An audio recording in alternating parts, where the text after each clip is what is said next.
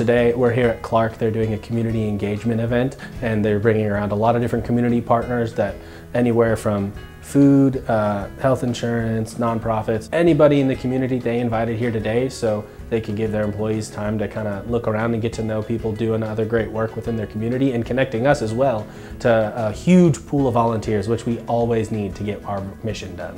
We're able to go around and uh, visit their different booths and talk to different people about what they do. And there's so many people that are um, just giving of their time and their energy and being so selfless.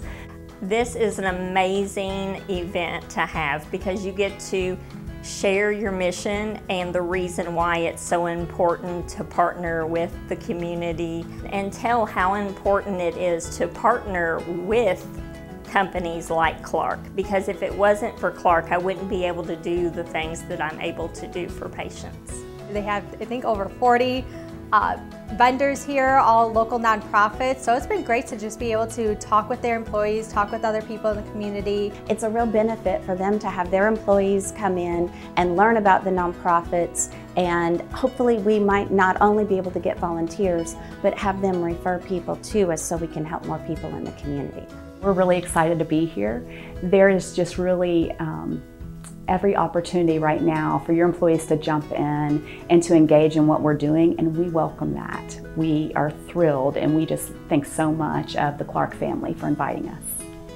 We're here to network, so there are organizations that may be beneficial for us to utilize as far as resources for some of our cases.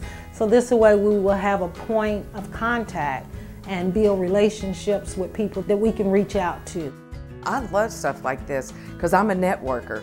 First of all, we're giving you an opportunity to volunteer. People, I don't know where to volunteer. Well, when you come to something like this, you're going to be able to see they need volunteers and then you pick what works for you. Not only does Clark provide volunteers for events, we're proud to be here today with all the other volunteer organizations to highlight what we do.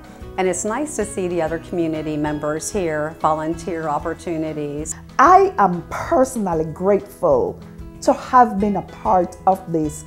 I met so many wonderful people from other agencies and even the employees of Clark. So this has been a positive event and I'm so very grateful.